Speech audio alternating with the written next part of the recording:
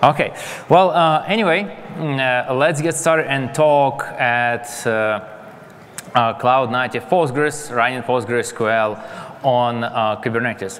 And compared to some other talks, especially talks I had so far, uh, I will be talking at a little bit higher level, so hopefully that will be helpful. and let me start by talking about the elephant in the room, right? And I don't know, uh, don't mean an elephant like an elephant in Postgres. Uh, I mean AWS in this case, right?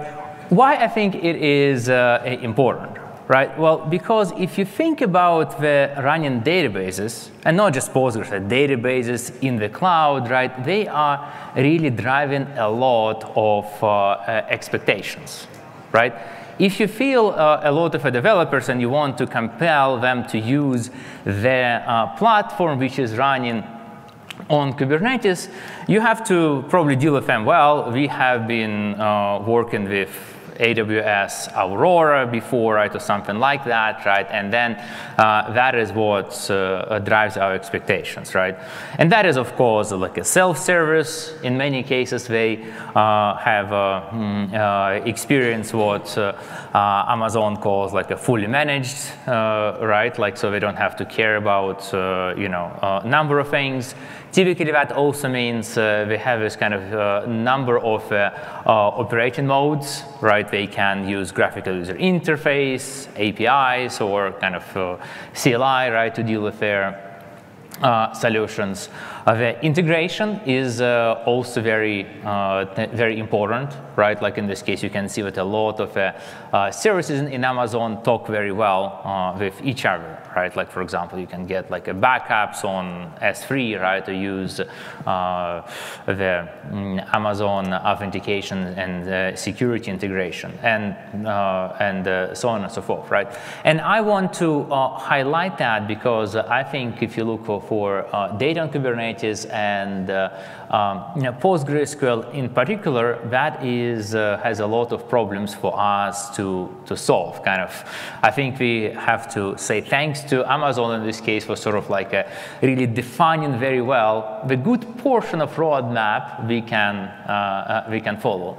And I think some of those uh, solutions are solved uh, right now pretty well. Uh, others I would say like a not so well, right? For example, if you look at uh, all that, like a serverless uh, uh, concept, right? Well, uh, maybe not uh, not that much, right? Or uh, the other challenges you can see, such as separation of storage in compute, which is kind of hard to do with Postgres, which does not directly have that in its um, architecture.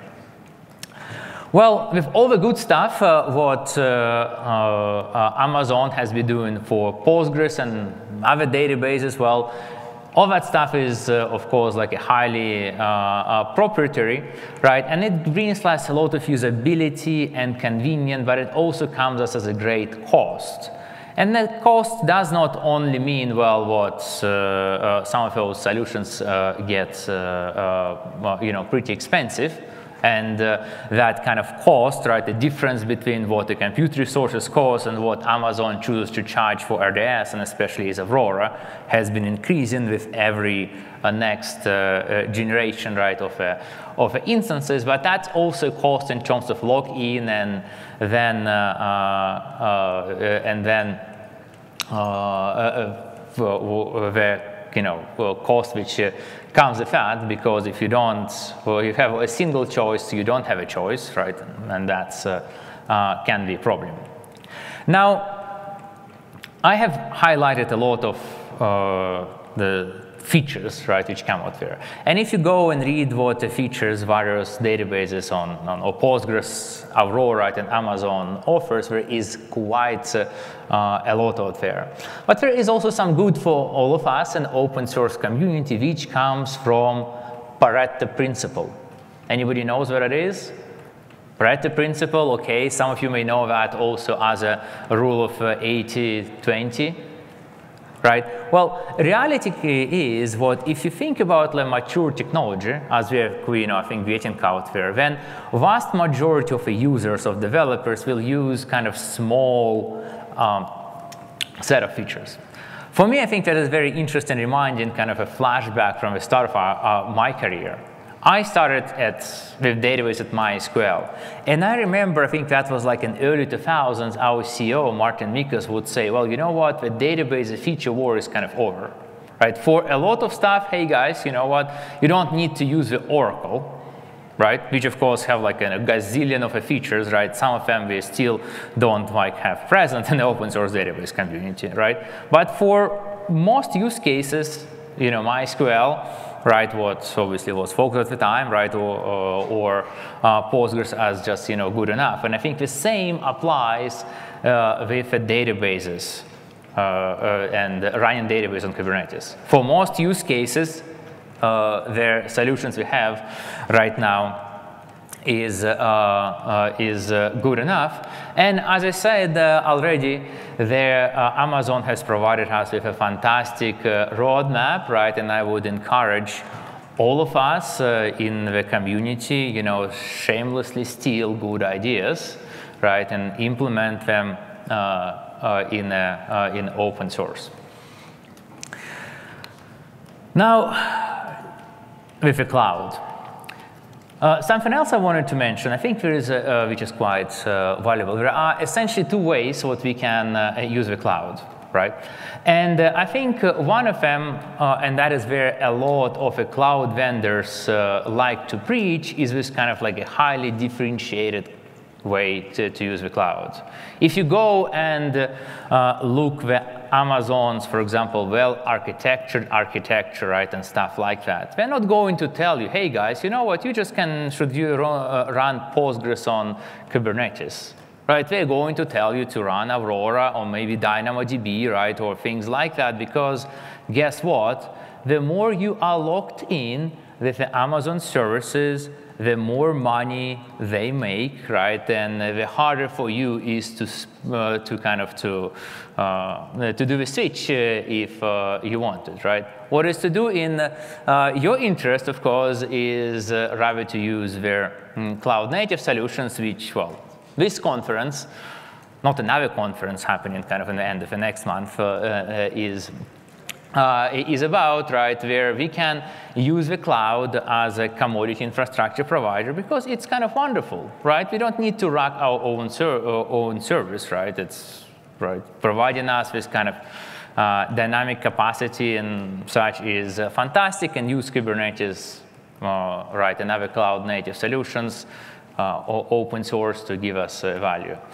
and I think what is interesting is that actually brings us to the cloud as Amazon uh, used to imagine and promote it, right? So if you look at this slide, that is actually from one of the old presentation of uh, Amazon, which they did not, uh, uh at the time, right, that people didn't know quite what the cloud was, we compared that to the electricity, saying, hey guys, it doesn't make sense for most of us kind of to run our own generators, right? It just better to get electricity from utility, right? Well, uh, makes sense. But I think an important thing about the electricity and that works uh, well, uh, because it is commodity, it's standardized, right? If you think about your you know, laptop, your TV, your microwave, they can run with any electricity uh, out there, right? They're, they're Microsoft, oh, oh, sorry, Amazon, uh, who cares? Say the same shit. Um, well, um, if the Amazon uh, uh, case, uh, then they say, well, if you now choose to uh, run your generator, well, you have to, you know, you can't use your laptop, your microwave anymore because they are only uh, ours, right? Which I think it doesn't make sense. Uh, but Kubernetes and related solutions give us uh, what we uh, looked for. Okay. So uh, the next thing which comes with, uh, with Kubernetes is uh, the stateful, right? If the data on Kubernetes room, right, we're obviously all convinced that Kubernetes is a good solution to run stateful workloads, right? But unfortunately, not everybody believes that still, right? And it's kind of very uh, uh, interesting, right? As the Kubernetes made itself a name as solution for stateless workloads, it's actually very hard to convince people, oh, now we can do a stateful for, uh, as well. For me, that's also kind of a deja vu, right? Because, you know, in the MySQL environments, the first thing the MySQL became famous for as a database which doesn't have transactions, right, from a, from a uh, 99. And that was indeed the case. And then, finally, MySQL started to support transactions. It probably took a decade for people kind of to internalize that, right? But I think what we are here as a community, both that kind of hump, right, and the increasing number of people uh, believes what that is uh, uh, now feasible, right? So that is uh, great. Now let me touch on uh, some, of the, uh, some of the data. And I just had to update uh, this slide earlier today, right, as this uh, as report was uh, released. The fantastic news, what we see is uh, obviously there is more and more adoption of um, data and Kubernetes technologies for uh, uh, for uh, databases in particular, but also other stateful workloads. Now, one thing interest in the survey is uh, there is kind of a limited set of um, questions, so we don't always match. But from a, so this is kind of from the earlier survey. But that was also very uh, what I use a lot to uh, promote running databases uh, on uh, on Kubernetes uh, is this, right? It's not only what people are doing that, but also what significant number of people are happy about the outcomes right? Because in some cases, you know, people are doing that, but you know what? They say, oh my gosh, we read this, you know, like an analyst's advice, we did it, and now, oh my gosh, we better uh, uh, haven't done it. Right, and there is also uh, a lot of growth uh, in uh, the databases uh, as on the Kubernetes as we know. Okay, now from a high level, let's go uh, a little bit to talk about running PostgreSQL specifically on Kubernetes. Now, when you think about the uh, getting the database run on Kubernetes, are actually like a multiple, you know, high-level ways to do that. You can actually, you know, grab a PostgreSQL container, you know, put it in a Kubernetes, and hey, you kind of have a database, right? And if you just want, you know, to connect to a database, run a couple of trivial queries, right? Maybe use it for a test that would work. But of course, that is not uh, the way to run a database in, produ uh, in uh, production. You can also use Helm, uh, right, charts to deploy uh, uh, the container. That is also uh, not uh, really uh, helpful. Where what you want to do if you run the database is to use the operators. Wherever you deploy them directly, or you use a Helm to deploy them, or you may use, let's say, some other software which deploy, deploy the operators, but you want to use that, uh, uh, that uh, you know, solutions which is operator because that can provide you a full cycle of a management of a, a database uh, of a databases. Now, how databases are special compared to a lot of applications, right? If you think about the mm, you think as a developer and deploying a lot of your stateless applications, you know what? If things kind of go wrong, you can you know, always tear it down and uh, deploy from scratch right, again. And that is actually what we often do, right? Because uh, immutable containers, right, that is like really the, uh, the good uh, uh practice uh, uh, to provide those days. But that is not how things work with data, right? If you kind of wipe out your database and then deploy empty database from scratch, right, when you want to do it, well, that would not quite work for your business, right? at least in production, and that is a thing with a, uh, with a production databases, they spend most of their life like in what we call like a, you know, day two, right? Day one, that is when the, what we call about like provisioning and initial configuration, and then you set it up, and then your production database kind of just go on and leaves for years, you know, sometimes uh, uh, uh even, uh, even decades. And then you have to do a lot of stuff. You have to do backups, you have to do scaling, upgrades, you will have some failures, and you have to do self-healing and all that kind of stuff, right? And you know what? And if you get installed like a just Postgres container, you don't get any of that. That is something which operators uh, provide for you, right? And I think the quality of an operator is exactly how well are they able to do that, right? And that is also where quality of operators comes in how well they're able to do that in those kind of a 0.1% cases, right? Because that is where most of the challenge uh, comes, right? And I think that is where uh, I would say there uh, a lot of testing and a broad adoption uh, becomes helpful.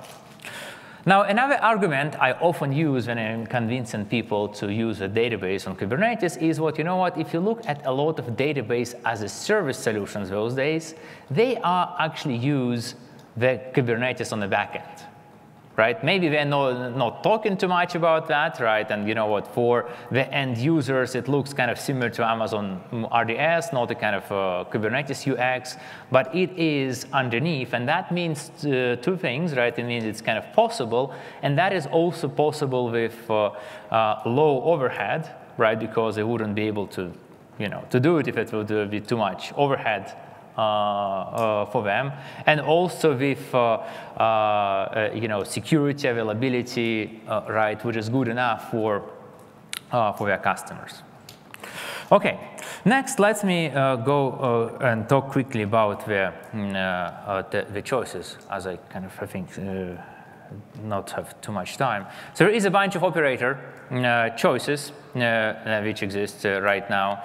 Uh, let me start by mentioning Cloud Native uh, PG, which uh, I would say to frank is a, like a leading uh, operator uh, those days, which has a very robust feature set. I, in particular, like the website documentation and onboarding ex experience is fantastic. And I also uh, want to provide this graph uh, about the changes, right? We can see what there is like a lot of work going on, and that's a pretty uh, uh, robust. Now, if you think about the uh, previous choice for community, that was Zalando PostgreSQL operator, right? That is uh, pretty much, I think, the, uh, the first operator which came uh, into the picture, has also a lot of features. I think they have especially a lot of focus on specific support for AWS uh, mm, uh, EKS, but uh, in general it has been losing ground last you know few years, and I think that was uh, interesting, right? If you can compare how much activity going on in development of that operator, you can see it's a lot less uh, compared to cloud native uh, PG. The cool thing to mention about the Zalando operator is also they come uh, with uh, uh, their uh, the GUI, which is mm, yeah, quite cool. The next operator to mention would be also Crunchy Data, PostgreSQL operator, which also has been in a market uh, for uh, quite uh, quite a while. It has some you know cool features like additional uh, plugins for timescale or, uh, or PG admin. Uh, the tricky uh, thing with this uh, operator is what while operator itself is open source, right, uh, it uses the images right, which, which require subscription from, from, from Crunchy right, uh, right, which is, this doesn't give you quite completely open source uh, experience. Uh, is uh, another uh, operator for Postgres, which also has been in a while. The interesting thing about this operator, it's also implemented in uh, in uh, in Java, and it uh, really has a, a very robust. Mm, graphical user interface, plugins, right, and even some, you know, cool features you may not expect in the operator, like like benchmarks right? Here is also the uh, GUI uh, example. Uh, and last, I also want to mention our operator from, from uh, from Percona, right, which is something which was initially based uh, off a crunchy operator. Now we implemented a lot of uh, features uh, in uh, that uh, out there. That also has a lot of integration with other Percona tooling in ecosystems such as Percona uh, monitoring and, uh, uh, and management, as well as similar UX to the other operators we have, right? Like, um, or, like if you're also running MongoDB or um, uh, MySQL, it has a very similar uh, stuff. And for us, uh, we have a lot of, we see a lot of growth in usage of operator among users and customers, right? And especially getting some good traction with some of the larger enterprises. Now, uh, beyond uh, the uh, operator, we also have a graphical user interface, uh, which is uh, called uh, Percona Everest, which is used as a special, separate solution which allows you to deploy and, and manage various database operators, not only for PostgreSQL, but also for uh, MySQL and uh, MongoDB, which I think is quite cool if you're looking for something like that Amazon RDS uh, uh, experience, I would uh, check it out. Then let me uh, also provide kind of uh, uh, this graph in terms of attraction of, uh, uh, of uh, operators, right? And here you can see what a cloud native PG is, at, at least by the star measure, is you know really you know kicking everybody's ass, right? We really got that you know four thousand stars, right? the fastest from all of them and have you know no intention of uh, stopping. Something else I wanted to uh, mention is this, right? What I think is interesting about the operators, all of them have, you know, quite inter uh, interesting kind of a lot of machinery and moving parts in this, right? So if you are ever deploying the operators right, and want to see, hey, what is uh, inside and how those like different components are talking to each other, I wanted to mention the, uh, the open source observability tool, uh, Coroot, which is quite uh, cool to really map, not just in database, but any Kubernetes infrastructure. But I know, like for me, looking at different operators, hey, what components we have, how they talk to, to, to each other, uh, has been uh, quite cool feature to visualize. Uh, uh, also uh, of uh, maybe of interest, our folks at community team at Percona came with this Kubernetes timeline for uh, for, for databases, right? There's like a uh, blog post out there, right? If you kind of want to uh, read more of the topics, please do that. Something else I wanted to mention, which I think is very uh, relevant in the PostgreSQL uh, space is this um, uh, uh, Neon Postgres. Anybody heard about Neon? Yeah, I think they are uh, doing a, a, pretty cool thing in terms of uh, supporting serverless separation, sort of go, compute, branching, and so on. So a lot of those features which Amazon Aurora has. And this is very cool uh, open source project, and it's actually built around Kubernetes architecture. The only thing in this case is what uh, uh, there is no right, easy way to deploy the self-hosted version, right? They provide all the uh, software uh, out there as an open source. It's available in repository, but it's not something uh, easy for you. And what I would uh, look in this case for community, I think that's fantastic reference uh, as an uh, ideas, and also that is also opportunity to, for community to step up and provide, you know, uh, that uh, infrastructure, right? If that's something what we want to have. Now let me finish up by talking about the challenges and the opportunities I think we have uh, in uh, uh, this space. Now I think uh, what the databases came to Kubernetes because the stateful sets and you know persistent volumes kind of uh, became uh, supported. But I think in this case it's also very clear what that on its own is not really good enough right? We can see, for example, Cloud Native PG Operator uh, has built a lot of, uh, functionality on, on, its own, and I think that is a similar challenge as what a lot of databases have. You know, Postgres, of course, but also database as well, and I think that is a very good opportunity for uh, us to see how we can cooperate right, among the different vendors building those uh, uh, data technologies uh, out there. And there is probably more what can be built in in a Kubernetes, uh, right, versus uh, implemented in, uh, in operators.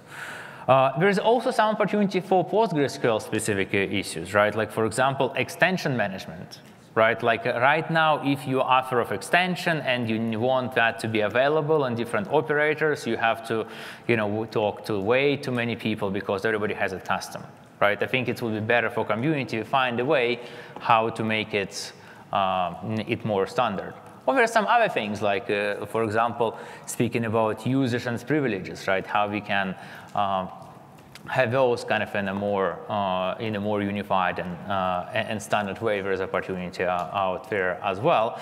And uh, this is kind of my educated wish, if you will, and uh, uh, maybe kind of suggestion to community. I think what we can do under this DOK umbrella is to see how we can have more cooperation between uh, the database operator developments, not just PostgreSQL, right? I think what PostgreSQL operator vendors specifically have a lot of things to, uh, to talk about, but uh, all other uh, database as well.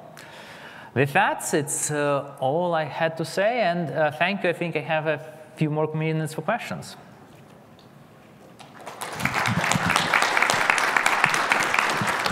Anybody have questions? Okay, thanks, Peter. I mean, what, thanks for you know covering all these things. What I see is that we are actually pushing database usage in Kubernetes where nobody has done before. So we are learning, and so I appreciate you know your call for more cooperation to improve not only Kubernetes but also Postgres. So just that you know, on the extensions management stuff, we are working on a patch for Postgres 18 that involves also improvements in Kubernetes to um, improve, you know, extension management and load extensions on the fly. Yeah. So I wanted to just, you know, you know let everyone think, uh, know that. I think that is uh, uh, that is fantastic. Yeah. Yeah, and but yeah, as you said, it's all happening now, and it's important to have everyone's feedback. So thank you for the presentation. Very good. I appreciate it. Thank you. Anybody else have a question for Peter? You can always find him afterwards. If not, we got to get the next group up here. Okay. Thank you so much, Peter. Appreciate okay. it. Okay. Awesome. Thank you.